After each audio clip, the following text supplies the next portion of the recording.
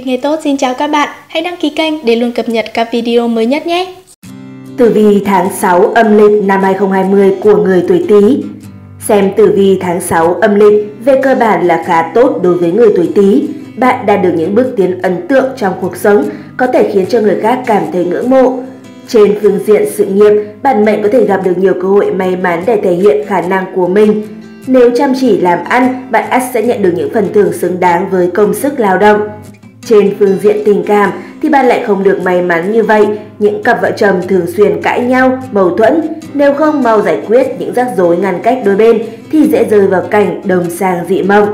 Những người còn độc thân cũng ít có cơ hội tìm được người như ý.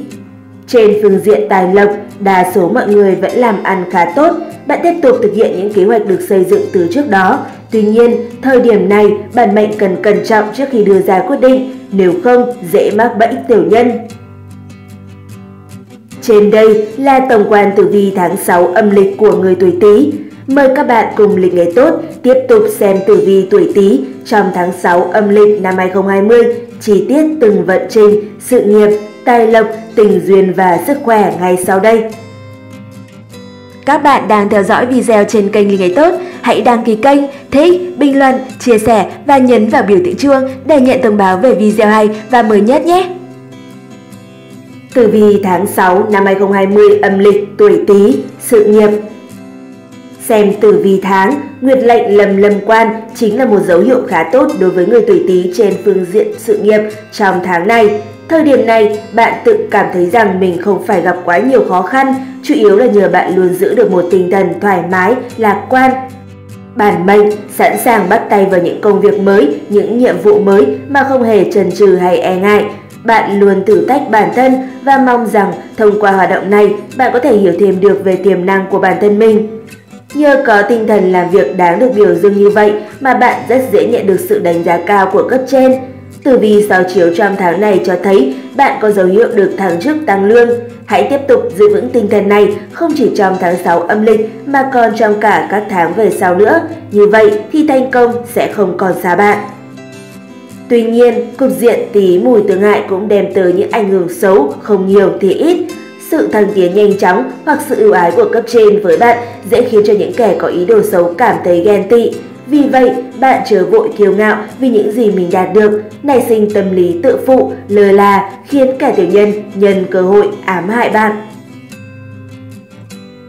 Tử vi tuổi Tý, tháng 6 năm 2020 âm lịch, tài lộc, Tử vi trợ lực giúp cho việc làm ăn của người tuổi Tý về cơ bản là tốt. Bạn hãy tiếp tục vững tin vào bản thân và tiến hành những kế hoạch đã đặt ra từ trước đó. Thời điểm này, bạn có thể dựa vào sức của chính bản thân mình để đem lại một khoản lợi ổn định, giúp cải thiện cuộc sống. Lâm quan cũng đem lại cho bạn ít nhiều cơ hội, nếu có thể nắm bắt thì át hẳn, bạn sẽ nhận được nhiều lợi thế trong làm ăn, Người làm công ăn lương có thể tin rằng chỉ cần bạn luôn chăm chỉ, cần cù chịu khó thì chắc chắn bạn sẽ nhận được một khoản tiền thưởng xứng đáng với công sức đã bỏ ra. Cấp trên luôn yêu mến một nhân viên sẵn sàng xông pha, thử thách bản thân, không ngại đối diện với khó khăn như vậy. Có điều, nếu là người làm trên cương vị lãnh đạo thì bạn không nên quá mức kiêu căng, tự phụ, coi mình là nhất. Những tính cách cực đoan ấy sẽ ngăn cản bạn tiếp thu ý kiến của người khác, thậm chí là vô tình phạm phải sai lầm mà không biết sửa. Thời điểm này, bạn cũng cần chú ý đến những đối tượng đột nhiên gần gũi, thân thiết với mình. Rất có thể đó là những kẻ lừa lọc, không đáng tin. Sao chiếu giải thân, khuyên bạn nếu có thể thì hãy tích cực làm việc thiện, giúp đỡ người khác. Có như vậy thì bạn sẽ được thần Phật phù hộ, hóa giải nhiều tai ương, không lo vận hạn. Tử vi tháng 6 năm 2020 âm lịch tuổi Tý, tình duyên. Trái ngược với những tiến triển rõ rệt trong sự nghiệp và tài lộc thì đường tình duyên của người tuổi Tý lại khá ảm đạm. Do cục diện Tý mù tương hại, quan hệ vợ chồng có nhiều dấu hiệu xa cách. Có thể hai người đều quá bận rộn với công việc hàng ngày nên không còn thời gian để chăm sóc lẫn nhau, chăm sóc nhà cửa, thậm chí còn ít cơ hội gặp mặt được nhau. Đôi bên dễ phó mặc tất cả cho nửa kia hoặc cho những người khác trong gia đình. Chính sự bận rộn ấy khiến bạn và người ấy đều cảm thấy mệt mỏi, chẳng hề nghĩ đến việc hầm nóng tình cảm nữa. Thủy khắc thổ còn là dấu hiệu vợ chồng hoặc người yêu mâu thuẫn, bất đồng quan điểm với nhau.